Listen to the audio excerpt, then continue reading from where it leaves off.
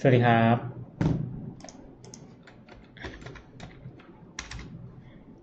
เป็นไงกันบ้าง มาดึกเลยวันนี้นะครับ เดี๋ยวเดี๋ยวขอแชร์ก่อนนะครับ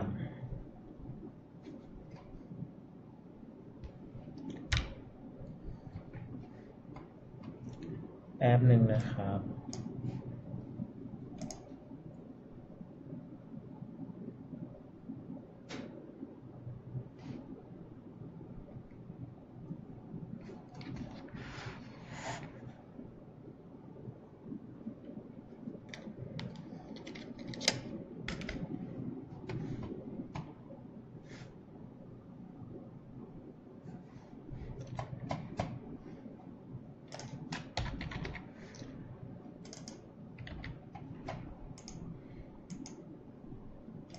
มีใค รได้ยินไหมเอ่ย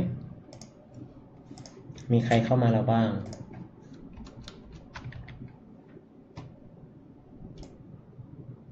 แป๊บหนึงนะครับ เดี๋ยวเดี๋ยววันนี้เดียวมาดึกหน่อยนะ แถมอาจจะไม่สบายด้วยนะครับ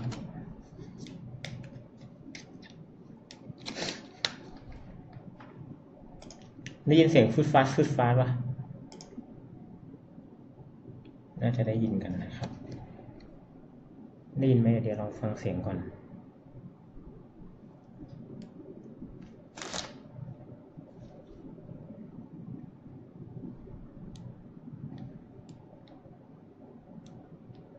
ไม่ได้ยินหรอ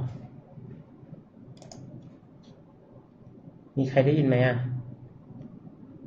ทำไมไม่ได้ยินอะทำไมเดี๋ยวไม่ได้ยินว่าไหม่ มีใครเข้ามาแล้วบ้าง เป็นไงสว่างไหม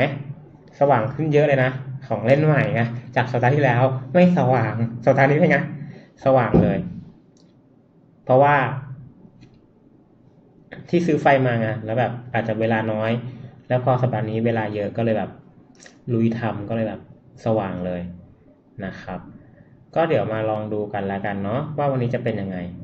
นะครับ เดี๋ยวเดี๋ยวขอแชร์ก่อนนะ ได้ยินเสียงชัดไหมเอ่ย ได้ยินเสียงกันชัดไหมครับ รออีกสักแป๊บหนึ่งนะ รออีกสักแป๊บหนึ่ง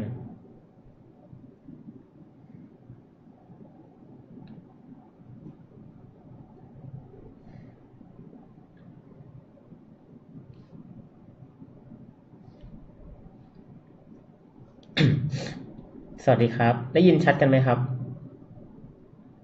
ได้ยินกันชัดไหมเอ่ย มีใครเข้ามาแล้วบ้าง แนะนำตัวหน่อย เพิ่งเข้าวันนี้วันแรกอะไรเงี้ย บอกเดียมาได้นะครับ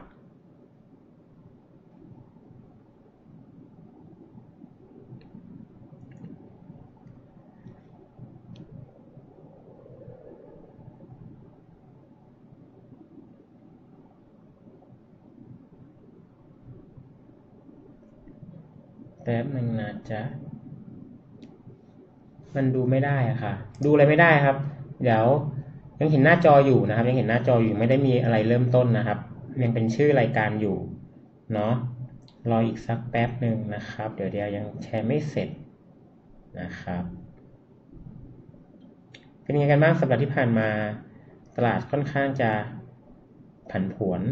นะ เหมือนกับที่เดียเคย forecast ไว้ไหม สว่างมากวันแรก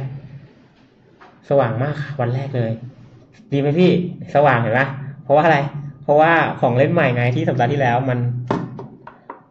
มันไม่สว่างก็เพราะว่าเดี๋ยวไปซื้อไอ้หลอดไฟมา แล้วทีนี้ ปรากฏว่า รีบมากไปหน่อยเลยแบบ ไม่อยากไม่อยากทำแล้วมันก็มืดแล้วด้วยก็เลยแบบอะไม่เอาดีกว่า กลัว แล้วก็เลยมืดเลยสัปดาห์ที่แล้วนะครับ ก็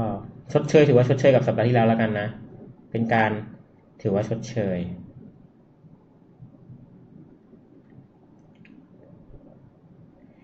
พี่สิริชัยนี่เป็นลูกค้าที่น่ารักที่สุดเลย เข้าฟังก่อนเลยนะครับ อืม โอเค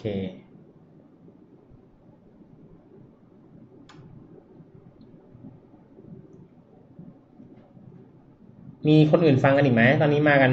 เจ็ดคนแล้วนะครับ เจ็ดคน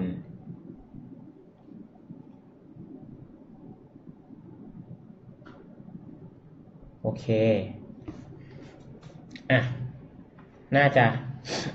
อ๋อ ลืมใน Line แอดนะครับ ไม่ส่งใน Line แอดเดี๋ยวเขาดุเอา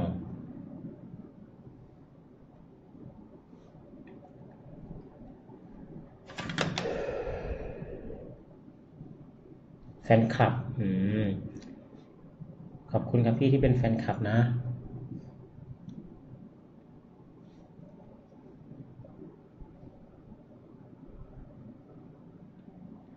โอเคอะเดี๋ยวอีกสักแป๊บหนึ่งเราก็จะเริ่มกันแล้วนะครับ เดี๋ยวเหมือนเดิม เราก็จะมาเริ่มกันที่อะไรก่อนนะ ใครใครถูกบ้างเราจะมาเริ่มอะไรที่อะไรกัน ที่ลองเดาซิเราจะมาเริ่มกันที่อะไร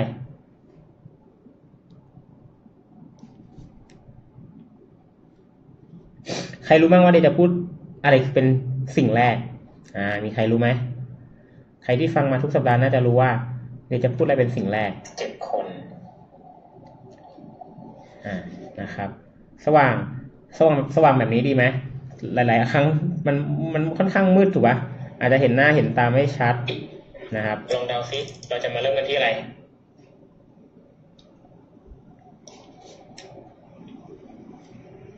อ่าแป๊บหนึ่งนะครับ วันนี้อาจจะได้ยินเสียงซึดซัดซึดซัดลำคาญนิดนึงเนาะเพราะว่าอาจจะ ไม่สบายนะครับ ไม่ใช่อาจจะไม่สบายไม่สบาย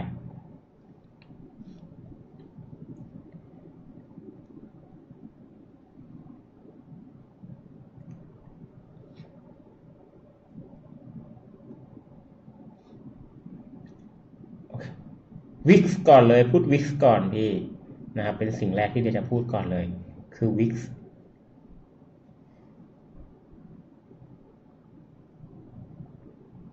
โอ เคไหมอะสิบแปดคนแล้วโอเค เป็นยังไงบ้างครับ สัปดาห์ที่แล้ว ที่เดียเคยบอกไว้เป็นไง ค่อนข้างผันผวนไหมผันผวนเนาะเดี๋ยวเดียเปิดวิกขึ้นมาก่อน ทุกคนก็จะได้เริ่มดูวิกขึ้นมานะครับ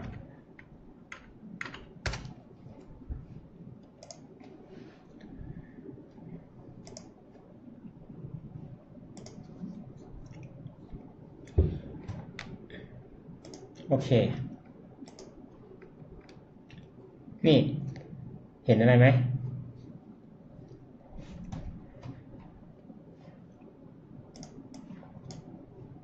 ชุบปุ๊บอ่า เดี๋ยวเดี๋ยวเอาออกมาเผื่อมีคนมาคุยกับเดียนะเดียจะได้เห็นนะครับ โอเค อะ มีใครเข้ามาบ้างแล้วครับเนี่ย มีใครเข้ามาครั้งนี้เป็นครั้งแรกไหม มีไหมครับ ครั้งแรกเลย วันนี้เข้ามาวันนี้เป็นวันแรก มีไหมเอ่ย ทักทายกันหน่อยครับ ทักทายก่อนจะเริ่ม เวลาเริ่มเดี๋ยววันนี้อาจจะเริ่มแบบรวดเดียวทีเดียวเลยนะครับ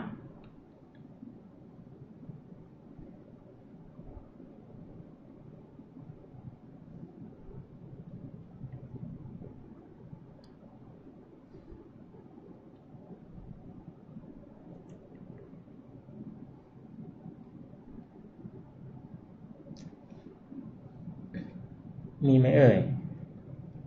มีใครเข้ามา วันนี้เป็นวันแรกนะครับ อ่า เดี๋ยวเราเดียก็จะ เริ่มแล้ว อีกสักแป๊บหนึ่งนะ โอเค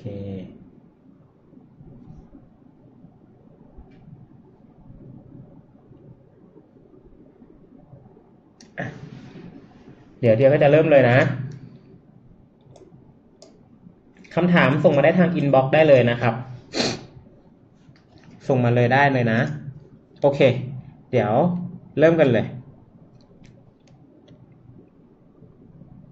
มา ก่อนหนึ่งก็ต้องสวัสดีพี่ๆทุกคนก่อนนะครับ สวัสดีครับ ก็กลับมาพบกับรายการคิดก่อนเทรดประจำสัปดาห์เนาะรายการนี้ก็เป็นรายการที่เอาไว้วิเคราะห์ตลาดเพื่อ ดูว่าสัปดาห์หน้าหรือสัปดาห์ถัดไป ตลาดจะมีทิศทางไปทางไหน จะมีมุมมองตลาดเป็นยังไงนะครับ เราไม่ได้สร้างขึ้นมาเพื่อใบหุ้นเพราะเราไม่มีพูดถึงเรื่องหุ้นเลยเนาะเป็นรายการน่าจะเป็นรายการเดี่ยวที่พูดถึงตัว อาจจะเป็นเกี่ยวกับอินเด็กซ์ต่างประเทศนะครับ แต่ไม่ได้พูดถึงหุ้นไทย แบบไม่ได้พูดถึงแบบว่า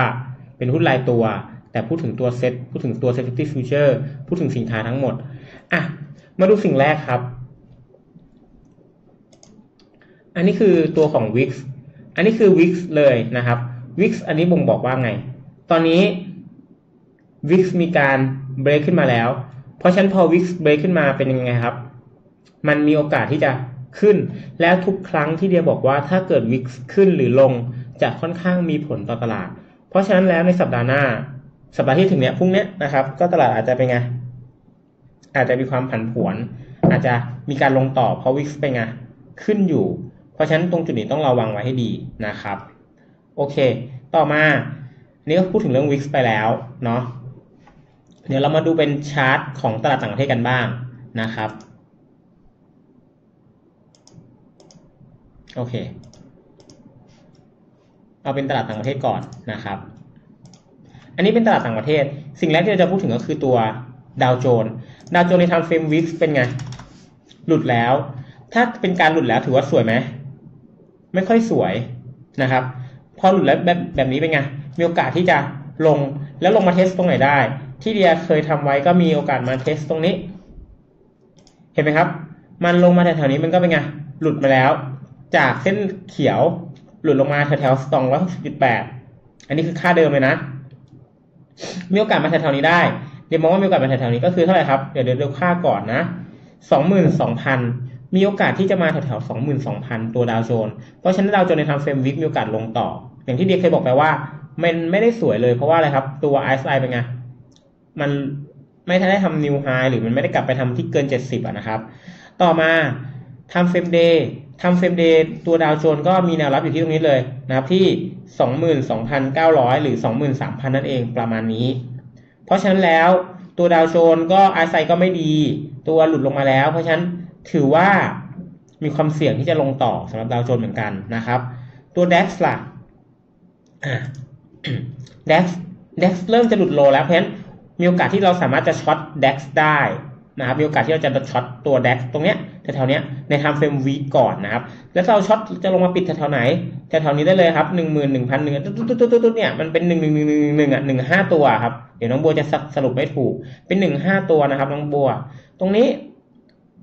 มีโอกาสที่จะมาพักแถวแถวนี้ก่อนได้ โอเค มาดูใน time frame day กัน ใน time frame day ก็ไม่ค่อยสวยเท่าไหร่นะครับ ไม่ค่อยสวย และตรงนี้ดูแล้วจะเป็นอะไร W shape เนาะจริงๆ ดูเป็น W shape การเป็น W shape เขาบอกว่า ถ้าอันนี้มันมีให้ตีกรอบไหมอะมันไม่มีให้ตีสี่เหลี่ยมเนาะอะเดี๋ยวเดี๋ยวขอตีเป็นเส้นนี้ ก็คือวัดจากบนลงมาล่างประมาณนี้แล้วกันอะเอาซะยาวเลย มันไม่ต้องออก extend ได้ไหมอะเดี๋ยวเดี๋ยวทำยังไงนะ เดี๋ยวก็ลืมไปแล้วด้วย เอาแบบไม่ extend อะ อะชวบใช้เครื่องมือไหนดีเอ่อก็คือกรอบเนี้ย กรอบเนี้ย ง่ายสุด เดี๋ยวคิดเลขให้เลยนะครับ ก็คือ ประมาณนี้หนึ่งหมื่นสองพันห้าร้อยสี่สิบลงมาแถวๆนี้หนึ่งหมื่นหนึ่งพันเก้าร้อยสี่สิบหนึ่งหมื่นหนึ่งพันเก้าร้อยห้าร้อยเก้าร้อยก็หกร้อยจุดหกร้อยจุดก็ลงมาได้อีกหกร้อยนั่นเองนะครับอีกหกร้อยจุดนั่นเองประมาณนี้นะครับลงมาจากตรงนี้อีกหกร้อยจุดนะ ก็ประมาณหนึ่งหมื่นหนึ่งพันตรงนี้เป๊ะเลยแถวๆนี้แหละแถวๆในวีคเมื่อกี้เลยนะครับก็คือเส้นนี้เส้นเขียว เพราะฉะนั้นตอนนี้ตลาดมีโอกาสที่จะปรับตัวปรับฐานก่อนหรือว่าปรับฐาน ถามว่า ภาพที่เดียเคยเตือนมาที่บอกว่าตลาดไม่สวย ไม่ว่าจะเป็นทั้งตลาดต่างประเทศและตลาดไทย ตอนนี้ก็เป็นไงมันก็ไม่ได้สวยตั้งแต่เดียเตือนตั้งแต่ตรงไหนครับ ตั้งแต่ตรงนี้ละที่มันหลุดไฮตรงนี้มาถูกไหมเนาะเพราะฉะนั้นตรงนี้ตัว DAX เองก็ไม่ได้สวย กองทุน DAX เดียแนะนำให้ขายตั้งแต่แรกแล้วถูกป่ะครับโอเค มาดูอินเดียกันใน week อินเดียก็เป็นไงก็ยังลงอยู่นะครับ ลงอยู่แล้วอินเดียลงมาถึงเกือบเกือบแนวรับแล้วด้วยนะครับ อินเดียลงมาเกือบเกือบแนวรับตรงจุดนี้แหละ เพราะฉะนั้นถามว่าตลาดอาจจะย่อทั่วโลกนะครับประมาณนี้ มาดู day กัน time frame day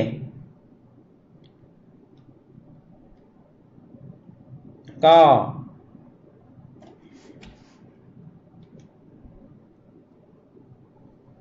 ทรงประมาณนี้นะครับทรงประมาณนี้ โอเค หลุดแนวรับแล้ว ตัวอินเดียก็ไม่ค่อยดี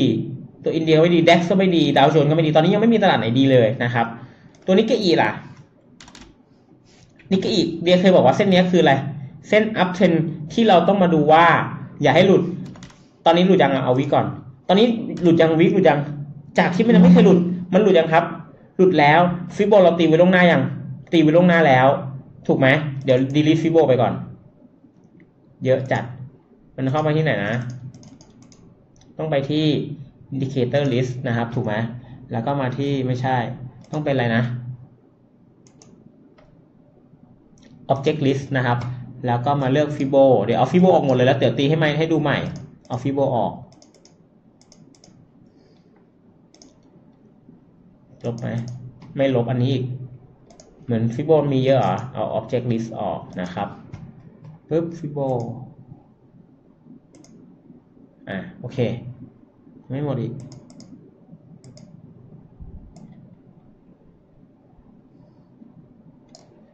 ลบเดี๋ยวเกิดลบไปลบมาลบฟิโบของอันอื่นออกไปด้วย แย่เลยนะครับนะลบไปเยอะแล้วอะ ไม่รู้ลบอะไรไปบ้างอะนะครับ ตอนนี้ โอเค อีกเส้นมาอยู่ตรงนี้ได้ไง เดี๋ยวเดียตีฟิโบจากตรงจุดนี้ จุดที่มันหลุดมาที่ไฮ ประมาณนี้ เพราะฉะนั้นตัวนิกเกอีมีโอกาสย่อมาแถวๆนี้ได้หนึ่งเก้าเจ็ดหนึ่งเก้าเจ็ดนะครับ มีโอกาสย่อมาแถวๆหนึ่งเก้าเจ็ดได้สำหรับตัวนิกเกอีเอง ถ้านิกเกอีหลุดหนึ่งเก้าเจ็ดมา ก็เป็นไงต่อแถวนี้เลยหนึ่งเจ็ดสองถามว่ามันจะมาถึงหนึ่งเจ็ดสองได้ไหมมีโอกาส เป็นแนวรับที่ดีด้วยนะครับ ดูจากหลาย ๆ ทรงแล้วตรงนี้เป็นแนวรับที่ดี แต่ลงมาตรงนี้ถือว่าเป็นไงลึกมากไม่สวยเลยนะครับ มาดูห่างดูใน time frame day หน่อย ใน time frame day หลุดมาแล้วมาพักแถวๆนี้ ก็เป็นไปได้ อาจจะมาพักแถวๆนี้ก่อนนะตัวนิกเคอิเองก็คือหนึ่งหมื่นเก้าพันเจ็ดร้อยประมาณนี้ มาดูฮั่งเส็งกันฮั่งเส็ง อันนี้มันเป็น Fibo ของของนิกกี้นะครับมัน ห่างเสงในทำเฟรมวีคยังไม่หลุดห่างเสงยังไม่หลุดเพราะว่าอะไรตลาดปิดไปก่อนในวันศุกร์ตลาดยังมันมันมันปิดไปก่อนถูกไหมตลาดทั่วโลกยังไม่ไม่ปิดนะครับ ตัวห่างเสงยังเป็นตลาดแรก ตลาดตอนนี้เดียวที่ยังดูดีอยู่นะ เพราะว่าอะไรเรายังต้องรอซินเมนต์ของวันจันทร์ ว่าจะทำให้ตลาดหลุดได้ไหม แต่เดียเชื่อว่าตัวฮั่งเส็งก็ถือว่ามีแนวรับอยู่ที่ สองสองหมื่นแปดพันหกร้อยนะครับ ตรงนี้ได้เลยเนาะมาดู time frame day ก็หลุดมาแล้ว แต่ก็เหมือนจะมีแรง rebound กลับ เพราะมีแนวรับของ day อยู่ที่อะไรครับสองหมื่นเก้าพันเจ็ดร้อยถ้าหลุดตรงนี้มีโอกาสลงลึกเลยนะครับ หลุดตรงนี้มีโอกาสลงลึกต่อนะครับ โอเคต่อมาดูน้ำมัน น้ำมันจะเป็นตัวหนึ่งที่ช่วยบ้านเราได้ ดูดูดูดูน้ำมัน สังเกตไหม น้ำมันมีการย่อแล้วพับ แล้วตรงจุดนี้ จะเบรกไฮไหมน้ำมัน เดี๋ยวเอาเส้นนี้นะ เอาเส้นสี มันปรับสีได้ไหม ได้สี object list ต้องเป็นนี่ปุ๊บปรับสีเป็นสี สีเขียว อ่า ถ้าเบรกเส้นสีเขียวไปได้แปลว่าอะไรครับ ไปต่อ น้ำมันไปต่อช่วยอะไรเลย ช่วยบ้านเรา ที่บ้านเรายังไม่ลงเยอะเพราะว่าอะไร น้ำมันยังขึ้นอยู่ ถ้าน้ำมันลงจำไว้เลยนะ ถ้าน้ำมันลงบ้านเรามีผลวิตกมาก ตอนนี้น้ำมันพายุงไว้อยู่ แต่ตลาดโลกเป็นไงผันผวนนะครับ ประมาณนี้ เพราะฉะนั้นน้ำมันยังถือว่ายังดี มาดู time frame day ใน time frame day break แต่ตรงนี้แล้วถูกไหมนี่ใครเห็นน้ำมันเบรกตรงนี้ไหมน้ำมันเบรกมาตั้งหลายวันแล้ว แต่เนื่องจากตลาดบ้านเราเป็นไงผันผวนตามตลาดต่างประเทศ เบรกแท่งนี้มาแล้ว จากที่เดียเคยสอนไปหนึ่งสองสามสี่รอบที่สี่เบรกจริงเป็นไงขึ้นเลยถูกไหมครับ อืม แล้วขึ้นจากเท่าไหร่ครับหนึ่งห้าหนึ่งเออเนี่ยหกสิบห้าเหรียญมาตอนนี้เท่าไหร่ละเจ็ดสิบเหรียญเพราะฉะนั้นตอนนี้กี่เหรียญละห้าเหรียญเพราะฉะนั้นแล้วตอนนี้น้ำมันเป็นตัวช่วยบ้านเราเลยนะเป็นตัวช่วยที่ดีเลยนะครับสำหรับน้ำมันอะมาดูทองกันมาดูทองกันก่อน นะมาดูทองกัน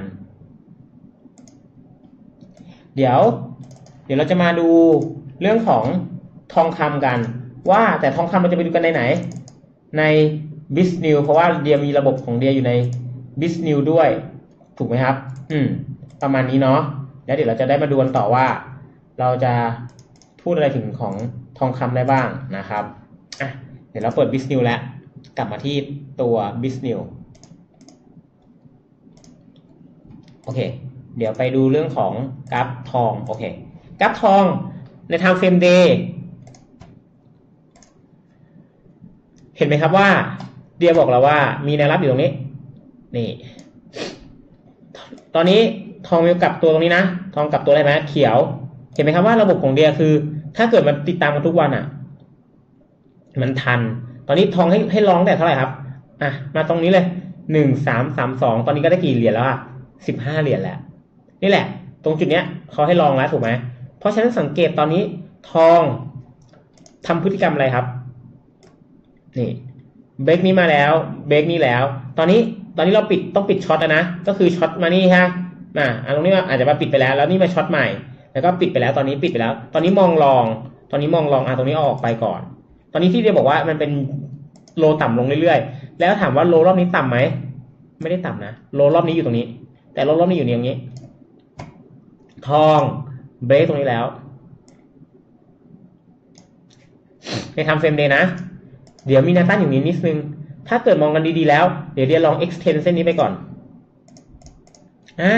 เส้นนี้ค่อนข้างมีนัยยะ สังเกตไหมเบรกคือขึ้นแล้วย่อแล้วไม่ผ่านตรงนี้นี่ดูตรงนี้นะ ย่อลงมาไม่ไม่หลุด ดีดขึ้นไป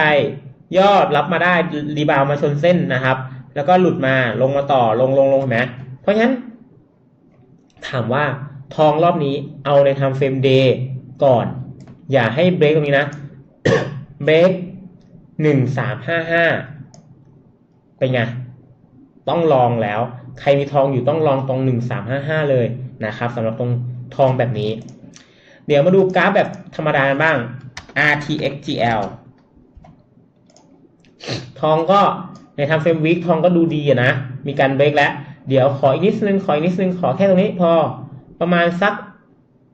หนึ่งสามหกเก้าหนึ่งสามเจ็ดศูนย์แต่ทองรอบนี้ เดี๋ยวมองว่าน่าสนใจ มองว่าน่าสนใจเพราะว่าอะไร สังเกตสิครับ สังเกตตรงจุดนี้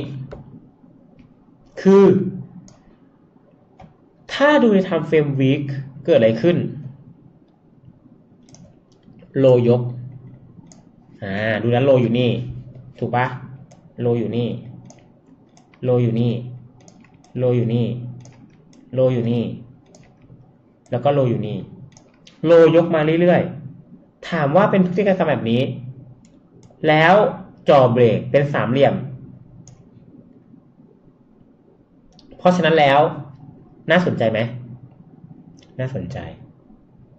ใครสายเบรกเราเล่นเบรก ใครสายเล่นเล่นเทรดก่อนเบรก ก็เทรดก่อนเบรกได้นะครับ ประมาณนี้เลยสำหรับตัวทองโอเคไหมสำหรับใน time frame week มาดูใน time frame day กัน ใน time frame day ก็ก็ดูดีนะ สวยไหมเห็นไหมสวย low ยกมาเรื่อยๆ ประมาณนี้อ่าไม่ต้องพูดอะไรเยอะ RSI เป็นไงดู RSI สิ RSI ก็โอเคเห็นไหมครับ ก็ถือว่าดีถือว่าดีอะมาดูภาพของเซตกันบ้าง มาดูเซตกันทีนี้ เรามาดูเซตกันแล้วเซตในทำเฟรมวิกก่อน สังเกต ตอนแรก ตอนแรกใครได้ดูอะไรไป ตอนแรกได้ดูอะไรกันไปบ้าง ได้ดูอะไรไป ตอนแรกที่เดียพูดไป ดูอะไรไป ตอนแรก เริ่มแรกเลยเดียพูดอะไรไป เริ่มแรก เริ่มแรกเดียพูดอะไรครับ พูดอยู่ตัวหนึ่งเริ่มแรกเลย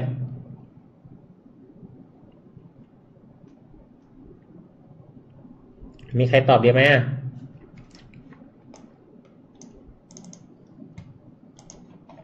เริ่มแรกเนี่ยพูดถึง Wix ไปเนี่ยบอกไว้แล้วว่า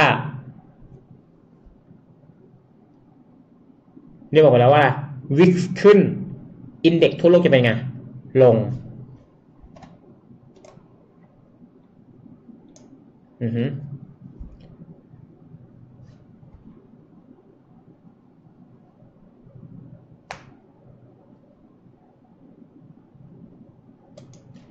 นะครับ เพราะฉะนั้นพอมันวิกขึ้น แล้วเดี๋ยวเซ็ตก็เป็นไง ลงถูกปะสังเกต อยากให้ดูตรงนี้ กรอบนี้หนึ่งเจ็ดหกศูนย์แล้วเวลาหลุดของมันของมาในเซตเดียวมองว่าเส้นสีอะไรหนึ่งเจ็ดสามเก้าหนึ่งเจ็ดสี่ศูนย์แล้วนะตอนนี้เดียวปรับเป้านิดนึง เป็นรอย่อมันหนึ่งเจ็ดสี่ศูนย์นะครับ อีกห้าสิบจุดไอซ์ไซน์ดูไม่ดีแล้ว ไอซ์ไซทำนิวโรเรื่อยๆ ราคายังไม่ทำต่ำลง ดูใน time frame day ตะกี้ใน time frame week คือหนึ่งเจ็ดสี่ศูนย์ถูกไหมครับใน time frame week จำไว้นะหนึ่งเจ็ดสี่ศูนย์ใน time frame day ต้องย่อมาแถวๆเส้นสีแดงถึงจะดีใช่ไหมหนึ่งเจ็ดสี่แปดเพราะฉะนั้นแล้วจริง ๆ แล้วตัวเซตเนี่ยแหละ ถ้าเกิดย่อมาแถวๆหนึ่งเจ็ดสี่กว่าๆลุ้นรีบาวได้จำไว้นะ หนึ่งเจ็ดสี่กว่าๆหนึ่งเจ็ดสี่แปดหนึ่งเจ็ดสี่ศูนย์อยู่ในช่วงนี้นะครับลุ้นรีบาวได้ณจุดนี้นะ ถามว่าทำไมเดียไม่มองขึ้น เดียดูจาก global แล้ว ดูจากอะไรหลาย ๆ ส่วนแล้ว เดียมองว่า ขึ้นยาก ขึ้นยาก ขึ้นยากหมายความว่ายังไง ไม่ได้หมายความว่า จะยังไม่ไปนะ มันอาจจะชะลออาจจะอะไรอย่างนี้ก่อน แต่ มีโอกาสไหม มันก็มีโอกาสนะครับ มีโอกาส อ่า มันมันมันไม่เห็น อ่า หลายๆคนบอกไม่เห็น อ่า โอเค อะปรับขึ้นมา นะครับ โอเค เพราะฉะนั้นแล้ว ขึ้นเนี่ย มัน มันไม่มีแนวโน้มที่จะขึ้นไปต่อไกลๆได้ เดี๋ยวเลยมองว่า ตรงจุดนี้แหละ ต้องย่อก่อน แล้วย่อมาแถวแถวไหน มาหาตรงจุดรับดีกว่า ย่อมาแถวแถวสักหนึ่งเจ็ดสี่กว่าๆเป็นไง ถือว่าเป็นไงครับ ถือว่าดีปะถ้าเซตย่อมาแถวหนึ่งหนึ่งเจ็ดสี่หนึ่งเจ็ดสี่แปดตะกี้ที่เดียบอกไปหนึ่งเจ็ดสี่ศูนย์ชัวร์สุด แต่ถ้าหลุดหนึ่งเจ็ดสี่ศูนย์เป็นยังไง ภาพของเดียคือไม่ดีแล้วนะ ตรงนี้ถ้าหลุดหนึ่งเจ็ดสี่ศูนย์เดียให้ต่ำสุดเลยนะ ห้ามต่ำกว่าหนึ่งเจ็ดสองแปดถ้าถ้าต่ำกว่าหนึ่งเจ็ดสองแปดแปลว่าอะไรครับ เดียไม่ได้มองขึ้นแล้วนะครับ ตรงนี้ยังถือว่าเป็น ตรงนี้ได้อยู่สังเกตว่าเวลาการขึ้นเนี่ย มันจะต้องขึ้นแล้วเป็นไง ถ้าเกิดมันจะสตรองจริง ๆ นะ มันต้องขึ้นแล้วไม่หยุดมันต้องไม่ลงแรงๆ แล้วตรงนี้คือไฮต้องไม่ต่ำกว่าไฮนี้นะครับ ต้องไม่ต่ำกว่าไฮนี้เลยนะจำไว้เลยนะครับ โอเคนะ ต่อมาเรามาดู sensitivity future กัน S50 underscore con OI S50 underscore con OI จาก time frame week เป็นยังไงครับ สังเกตว่ามันต้องมาแถวๆเส้นสีเขียวก่อน สีแดงก็ดีสีเขียวก็ดีเพราะฉะนั้นถ้าสีเขียวก็เท่าไหร่ครับ1130ตอนนี้เท่าไหร่1179ก็อีกประมาณ49จุด50จุด ถูกไหม เพราะฉะนั้นตอนนี้ไม่ว่าจะเป็นเซ็ตไม่ว่าจะเป็นดาวโจนส์ดัคนิกเกอียกเว้นห่างเสงที่ยังไม่หลุดลงมาสามสี่ตัวที่เดียวว่ามาไม่ว่าจะเป็นดาวโจนส์ดัคนิกเกอีน้ำมันเป็นตัวช่วยบ้านเรา เรายังไม่เรายังไม่ลงแรงๆเพราะอะไรน้ำมันตอนนี้ขึ้น น้ำมันตอนนี้ขึ้นอยู่นะครับบ้านเราอาจจะเป็นสตรองนิดนึงสตรองเพราะว่าน้ำมันนั่นเองนะครับ ทีนี้ถามว่าตัว SET50 future ช่วงนี้เทรดยังไงดี กลยุทธ์หลักของเดียตอนนี้ อย่างที่ใครเคยฟังอยู่ เดียเคยบอกไปแล้วว่ากลยุทธ์หลักของเดียคืออะไรเด้ง short จำไว้นะ เด้ง short เพราะว่าอะไรครับ เพราะว่าเดียมองว่า มันไปได้ไม่ไกลละมันไปได้ไม่ไกลนะครับ มันไม่มีทางที่เดียบอกไว้แล้วว่าอ่าเดี๋ยวเดียให้ดูเดี๋ยวเดียขอดูโพยก่อนว่า ที่เดียคำนวณไว้แป๊บนึงนะที่เดียเอาไว้แชร์ในห้องลูกค้าเดียอยู่ตรงนี้อ่าเดี๋ยวเดียเปิดให้ดูอีกรอบนึงก็ได้นะครับ เอาไว้แชร์ให้ลูกค้าทุกคนทราบนะครับ ลูกค้าคนไหนแบบอยากรู้หรืออะไรเงี้ย ถามเข้ามาได้ เดี๋ยวเดียเปิดให้ดูนะครับอ่า อาจจะไม่เห็น เพราะว่า เพราะว่า เดี๋ยวเดี๋ยวขอปรับก่อนอปึ๊บ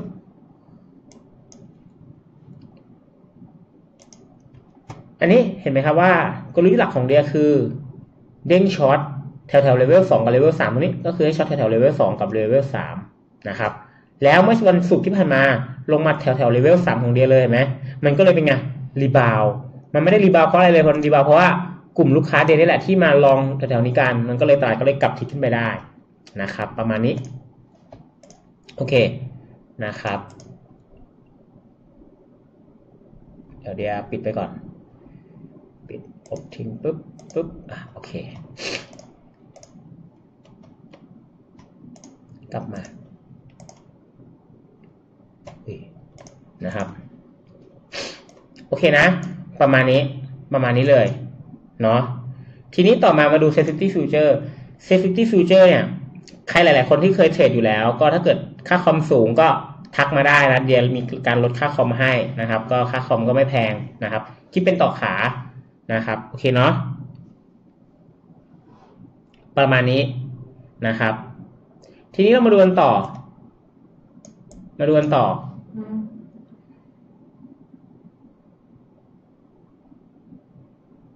อะในตัวเรื่องของตัว safety future แนวโน้มก็ลงมาแถวๆแรกหนึ่งสามศูนย์นะครับหนึ่งหนึ่งสามศูนย์เป็นเป็นแนวรับที่ค่อนข้างดีนะครับ อย่าให้หลุดหนึ่งหนึ่งสามศูนย์นะ ไอไซไม่ค่อยสวยนะครับ มาดูในทางเฟรมเดย์หน่อย ใน time frame day แถวๆเส้นเหลือง เส้นเหลืองเป็นแนวรับของ time frame day ได้ดีหนึ่งหนึ่งห้าแปดโอ้เดียว่า time frame day เป็นแนวรับที่ค่อนข้างดีกว่านะหนึ่งหนึ่งห้าแปดก็อีกประมาณยี่สิบจุด ก็ใกล้เคียงกับตัวเซตที่จะลงมาสี่สิบจุดประมาณนี้นะครับ ใกล้เคียงกัน โอเคเนาะก็ อันนี้แหละ ก็เผื่อคนที่แบบเทรดสั้นเทรดในวันอะไรเงี้ย จบในวันถ้าเกิดอยากได้ค่าค่าค่าคอมถูกๆ ในตัว SET50 future ทักมาได้นะ คิดเป็นต่อขาไม่แพง แต่ถ้าเกิดเทรดเยอะๆยิ่งคนไหนเทรดเป็นห้าร้อย con ต่อวัน หรือพัน con ต่อวัน ทักมาได้เลย เดียมี rate ที่แบบสุดๆให้เลย ถ้าแบบห้าร้อย con ต่อวันนะ แล้วก็หนึ่งพัน con ต่อวันนะครับ โอเคเนาะ ประมาณนี้ อะ มาดูเรื่องของตัวตลาดต่างประเทศอีกหน่อยนึงนะครับ มาดู DXY อ่า DXYO เป็นไง ดีดมานี่ แล้วมีการที่จะย่อตรงนี้อีกนะครับ เพราะฉะนั้น DXYO อ่อนค่าลงมา แปลว่าอะไรครับ แปลว่าไทยบาทจะเป็นไง แข็งค่าขึ้น นะครับไทยบาทจะแข็งค่าขึ้นเลยนะสำหรับตัวไทยบาทนะครับมาดูว่าไทยบาทแข็งค่าขึ้นจริงไหมเฮ้ยไทยบาทก็ไม่ได้แข็งขึ้นจริง แปลว่า flow อาจจะไม่ได้ไหลเข้าไทยร้อยเปอร์เซ็นต์เนี่ยก็คือเหมือนกับจริง ๆ แล้ว DXYO อ่อนมากี่วันแล้วอ่อนมาสามวัน แต่ดูไทยบาทยังไงไงทรงๆอยู่เลยอะ่ะ ไปเข้าใครอะ่ะฮ่องกงเราก็ดีกว่าลาวเราดีกว่า สิงคโปร์เราแย่กว่าหน่อยหนึ่งไต้หวันก็เฉยๆญี่ปุ่น อ่า เงินไปเข้าใครครับ เงินไปเข้าญี่ปุ่น ตอนนี้เราเราเรารู้แล้วว่า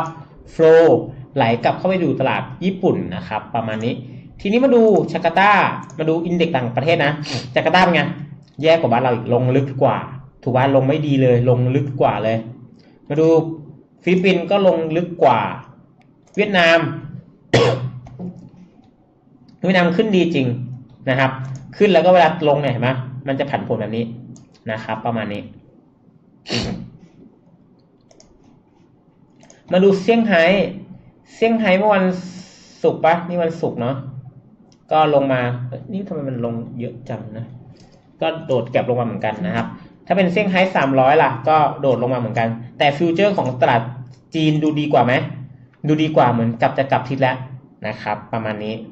ก็ครบแหล้วสำหรับตัวเรื่องรายการคิดก่อนเทรดเพราะฉะนั้นมุมมองรวมๆในสัปดาห์หน้า เป็นยังไง เดี๋ยวเดี๋ยวเปิดโคมก่อน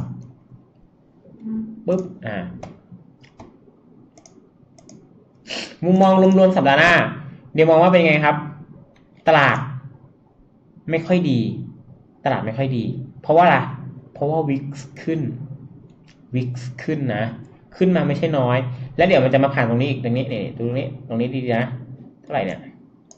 ไฮอยู่ที่ยี่หกจุดสองถ้ามันเกินนี้ไปอีก ก็แปลว่า ไม่ดีแล้ว ไม่ดีนะครับ โอเคนะ เพราะฉะนั้นวันนี้ก็น่าจะได้ความรู้ครบถ้วนบริบูรณ์ครบทุก Product ครบทุก Index ทุกค่าเงินนะครับ ที่เกี่ยวกับตลาดไทยเอามาลิงก์กันให้ได้ ข้อมูลเหล่านี้เอามาลิงก์กันให้แต่ไม่ต้องไปพูดถึง global macro อาจจะ ไกลไปหรืออาจจะหลายคนอาจจะเข้าใจยากนะครับเอาวันนี้แบบตาติดตามกันนะครับ โอเคงั้นวันนี้ต้องขอขอบคุณและสวัสดีครับ ต้องขอโทษด้วยนะทุกวันนี้ที่แบบอาจจะมีเสียงซึดซัดซึดซัดไปนะครับ โอเคงั้นวันนี้ต้องขอบคุณและสวัสดีครับบ๊ายบายเจอกันสัปดาห์หน้าครับ สวัสดีครับ